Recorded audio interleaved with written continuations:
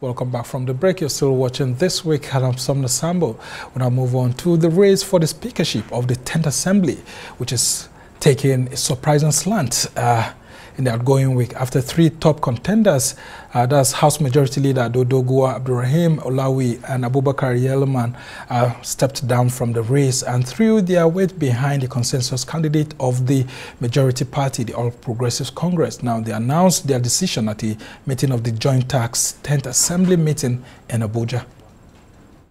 Day one, when the NWC, the National Working Committee of my party, put it on the table that they have come up with a zoning arrangement. As from that date and day, I therefore called my bid to contest for the speakership of the 10th House of Representatives off. Joint Task is raising a call today and saying, come, let us work together as Parliament to give to Nigeria what is the best. It is not about any party. So today, I join my colleagues to assure you that this is your home, a home where we will bet leaders that goes beyond presiding officers. Please let us be objective. If any contestant wants to engage you on any issue, let him not be on issues that are just neither here nor there. Let him go straight to the issues. Is this man competent? Is he transparent? Does he have the right empowerment? Can he be able to lead just and fair? Those are the kind of hard questions all the contestants are supposed to be asking. And we, the people, or you, the people, that will be doing the voting at the end of the day, those are the type of questions you need to be asking belief, my core belief, is that if you come here on the platform of a party, there's a saying all over the world, even in the most advanced democracy, that your party is always supreme. You will disagree with your party.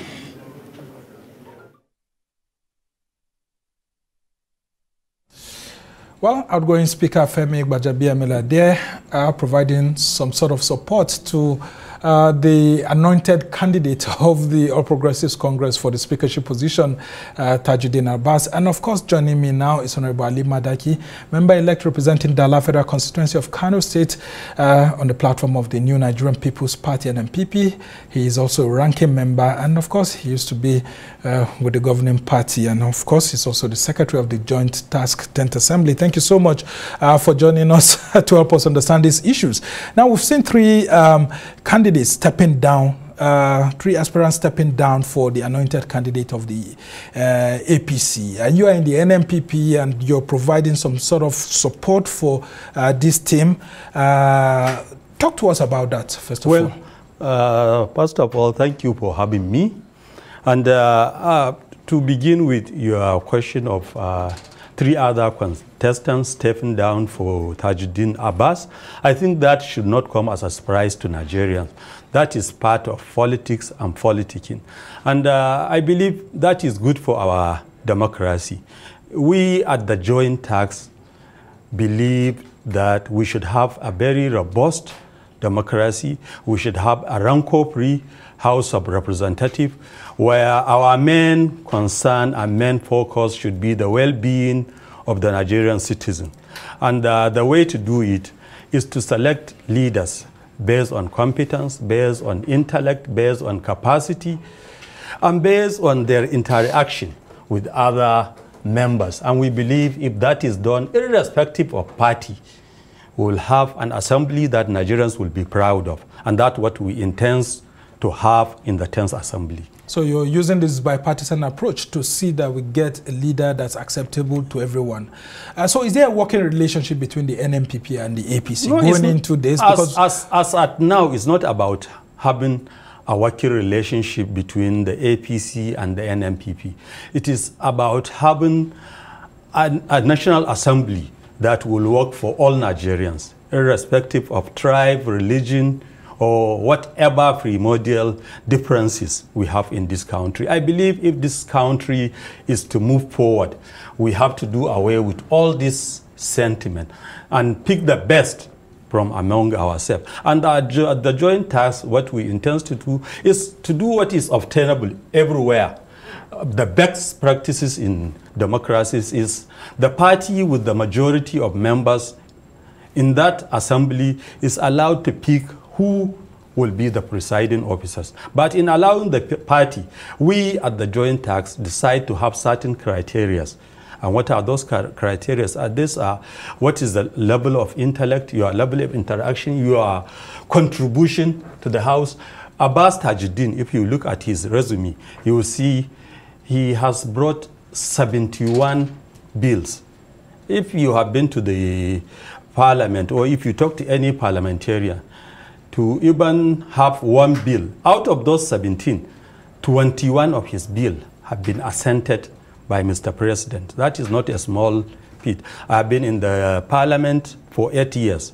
I have only one bill to my name. Although uh, in the eighth assembly, I have the highest number of motions, but not bills. But Tajudeen Abbas has, as we speak, 21 bills that have been assented. Yet, uh, Mukhtar Betara, who's one of the leading contestants, actually says that many lawmakers don't know Tajudeen Abbas. Well, I beg to disagree because what is the process of having your bill get assented?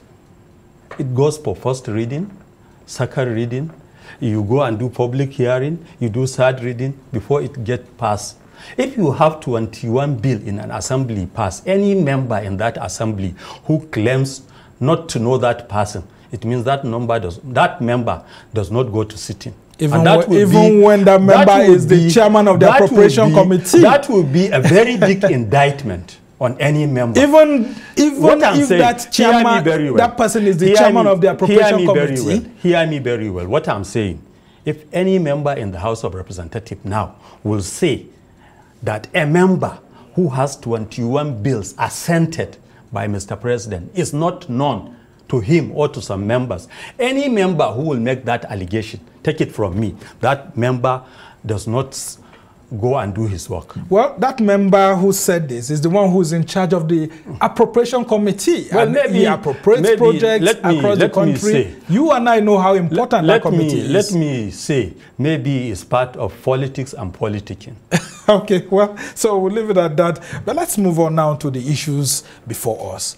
And how it's important to get a speaker that's well acceptable and trusted by Nigerians. Do you think we can afford another rubber stamp in the 10th Assembly? Because the outgoing one, which was endorsed by the APC, Femi Gbajabiamila, and then, of course, uh, the President of the Senate, uh, Ahmad Lawan, they have been accused of being rubber stamp. Do you think Nigerians have well, that patience to well, accommodate let me, let me say again? quite clearly that I was in the 7th and 8th Assembly, but I was not in the 9th Assembly.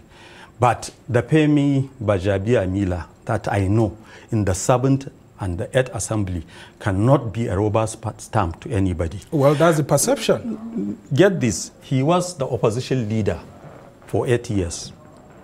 By then, initially I was not part of the opposition. But me and Femi were best of friends because I believe in the kind of ideals he's always pushing at the floor of the House. And when he became the majority leader, he did same. And uh, like I said, I wasn't in the Ninth Assembly, so I cannot say much about what happens. But I believe, based on his character, I know. But you're a Nigerian. I would have been reading the newspapers and his, to know that Nigerians no, are saying that this outgoing assembly in, has been sleeping in bed with the there, executive. There is this saying in my place that when you don't meet a man for a long time, when you see him, don't ask him about his character because character does not change. And I know Femi Baja to be somebody of very sound moral character to the best of my knowledge. Okay, so as we head into the uh, 10th Assembly uh, on Proclamation Day, June 13, there is this talk of a gang up Ali Madaki against the anointed candidate of the APC for speakership. How prepared is the joint task to deliver Tajudeen Abbas? Well, if you look at it, the joint task itself is a kind of gang up because I am of the NNPP. The co-chairman is of the PDP. The chairman is of the APC. So I don't know how you, and if you look at what has been happening, just few days back, uh, a, a, greater chunk of the opposition, we came together, together and endorsed Tajudeen Abbas here in Transcorp Hotel. Yeah, I mean, I, I saw it. Uh, here in Transcorp. And you need orders. to come and see the numbers. Can you take that to the bank, knowing as a politician that we people can. get into the hall, uh, I well, mean, the, cham well, the chamber on election day, and they become individualistic that and not working as groups on that day? Well, I can bet you the 10th Assembly intends to work as a group, and we will work as a group. And on that day, we will work as a group and we'll speak as one. Have you heard of the group known as G7, made up of top contenders for this position? Well, it could be G6 now because one of them, Ali Doguwa, has stepped down. Well, but that G7, before, finish, uh, before, it became before G6. we finish this interview, they could become G2 or G1. because no, I'm telling has, you, based uh, on what I know. Honorable Ahmed was saying, who is the outgoing deputy speaker? You also have the appropriation committee chairman there, Ali Doguwa, the majority leader was there. And, you know, it goes let, on there. Let me, let me say, all of that. Let me say, aren't are, you afraid of this, that gang? These are all people I know who are my friends and who I believe are qualified to be speakers. But we must have one speaker at a time. And you think Tajudeen Abbas is that the speaker? best among the lot is Honorable Tajudeen Abbas. What are his leadership skills that you think can help to? I mean, you and I know how rancorous the House of Reps can be. Yes. You have more newer members has, than the older he has, members. He has the can he handle those he has members? The, he has the comportment, he has the temperament to handle issues in the House of Representatives. I have known him for eight years. Uh, my seat is just in front of his seat for four years, and I can attest to the fact that he is somebody who can tolerate a lot of things. He is somebody who is willing to listen, which is part of what you need to be a speaker in the House of Representatives.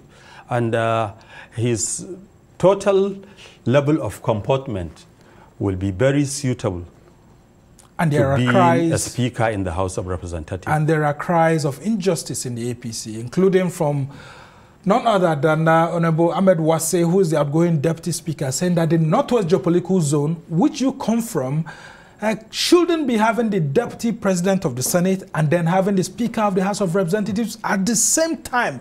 Well, Where is well, federal character? Well, well, unfortunately, I'm not a member of the APC.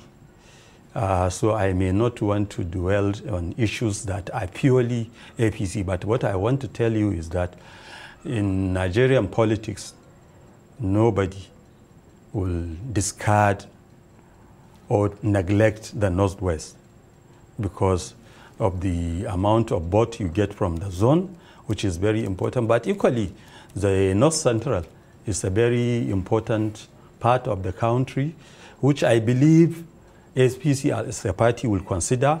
And if there is any mistake or error made, I'm sure the party will look into it. And there are other ways where those that are not fully accommodated in this arrangement will be accommodated.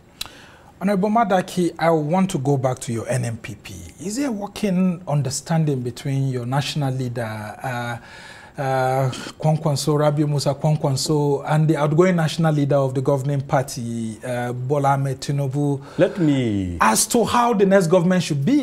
Is let, it let, true that let, you people are working say, towards a government of national let unity? Let me say, my leader is concerned primarily about the well-being of the Nigerian citizen.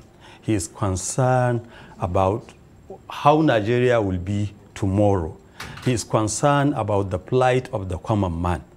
That is, these are the major concerns of my leader. And is he warming up to take a ministerial position in uh, the incoming government? How true is it? Well, that, these uh, are all hearsays. My leader, as a Nigerian, is desirous of seeing that Nigeria moves forward.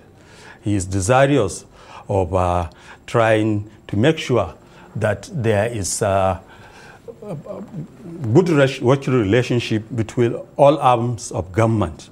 That is why you see uh, myself and other members being in the joint task because if yes. we don't have his blessing, we won't be in the joint task. Interesting indeed.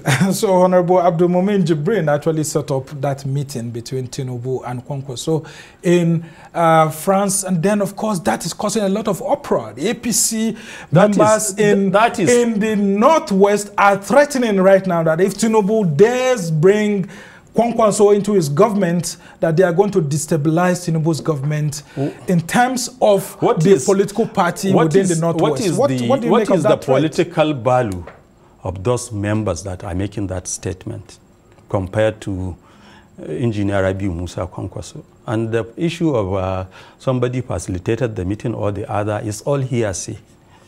It's all hearsay. The meeting has taken place. We don't know who facilitated it. We don't know how it happens.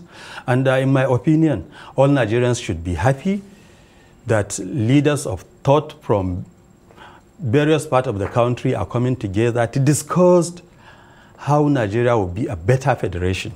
Okay, well, the person who made that statement specifically is um, Abdul Majid Kwamanda, who you and I know is a top APC leader in Kano State. No, and this is what he had I to say, know. that we in the Northwest uh, do not welcome Rabiu Musa Kwankwaso to our party, APC. Who is? We do not accept the idea of Bola Tinubu giving him any appointment, who, even as low as a messenger in our dear party. Should Tinubu ignore our outcry and appoint Kwankwaso, we are going to disrupt the entire APC in the North and withdraw our support for him. Who is Abdul Majid that you are talking about? I don't know. Abdul who, Majid Kwamanda. I don't know who, who you are talking about. APC leader. Which position? Kano, which, which, position well, does he hold in Kano? Well, he doesn't hold a specific position. Which election? Which election from councillor to president? Which one has he contested? You and I know the person no, we're talking you. about, and I'm you know asking, his influence. No, but I'm asking you, which election has he contested? Politics. Which position?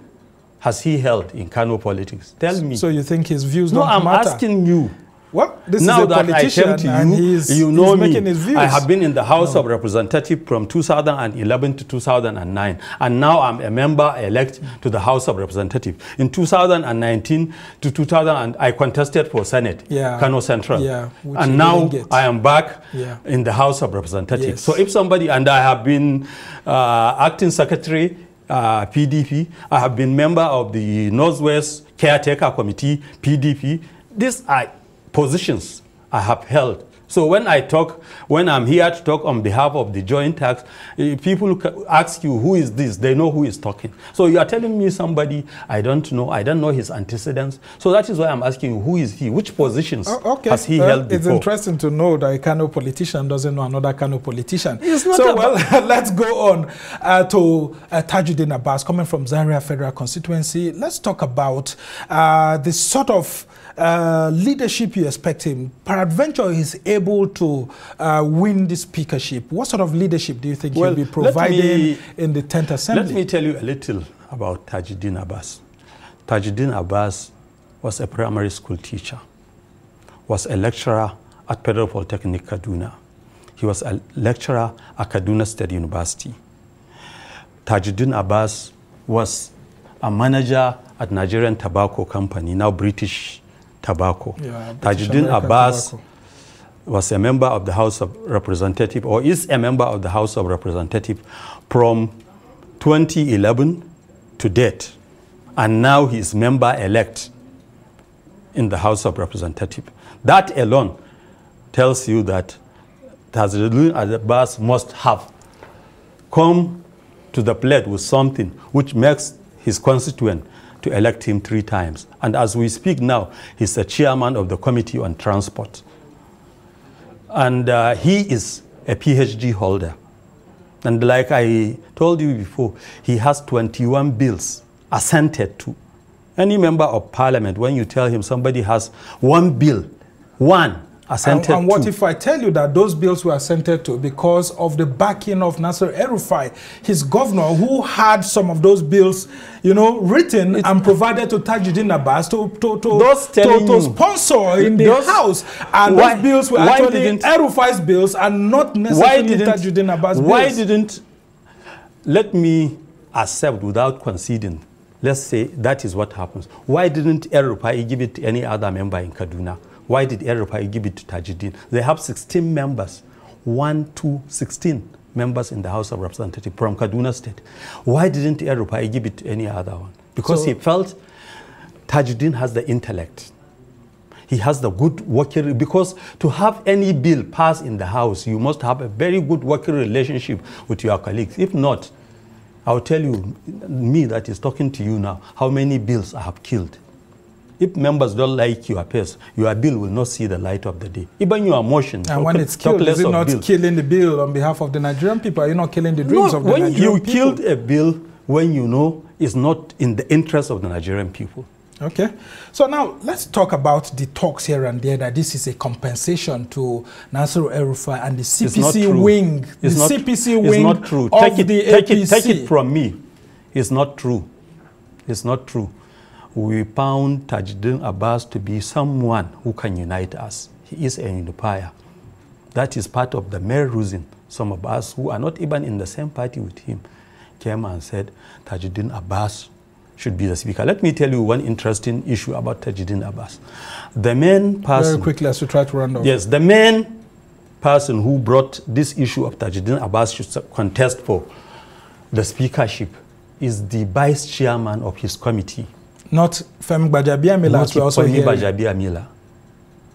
Femi Gbajabiamila was sold into the issue by members, especially the vice chairman of Tajudeen Abbas. And let me tell you something about the house, which most people outside don't know.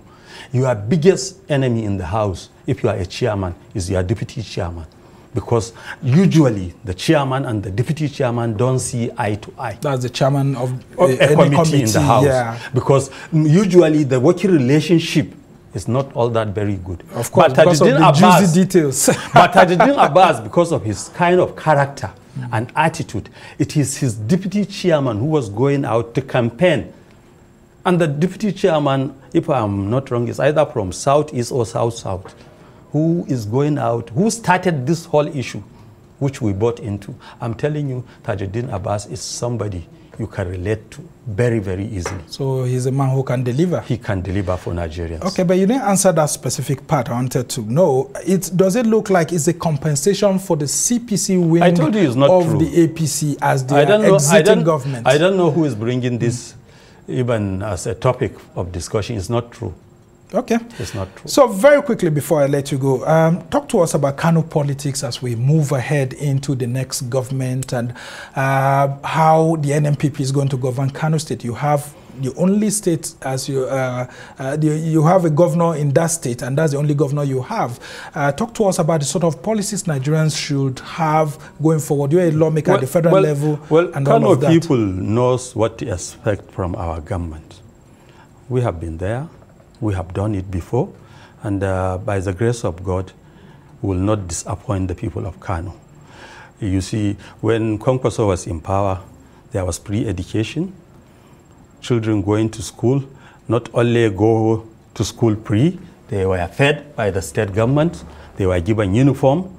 Uh, you have free health care, which was available to every of the 44 local government we have in Kano. All right. And these are all things that will bring back to Kano. Our prosperity, prosperity our trade and industry, Okay. our commercial venture. That's so interesting to hear These that. are all things that our government and uh, will just give hope more you, power and energy. Have you been promised a juicy committee by Tajudeen Abbas so that you Well, will help to deliver I, some I of these went things to a meeting yesterday of the opposition where issues like this Yeah. were raised. I said it to them abundantly clear that I, Ali- Aliyu Sani Madaki, has not been promised anything Okay. by Tajudeen Abbas. I'm working for Tajudeen Abbas because I believe in him All right. and must, I believe uh, in the project. That's a very good place to actually leave it. Honorable Ali Madaki is a federal uh, parliamentarian representing Dala federal constituency. I mean, he's a honorable member elect and they will be sworn in on uh, June the 13th. So the politics of who becomes the speaker uh, is ongoing. Very hot indeed, and uh, we just hope that you all take it easy uh, when you get to the floor on Proclamation Day on June 13th. No fights and all of that. Well, we must thank you so much for being on the program, and this is where we'll have to draw the curtain on today's program. On behalf of our team in London, Lagos, and Abuja, thank you for watching, and do enjoy the rest of the day. I'm Somna Sambo.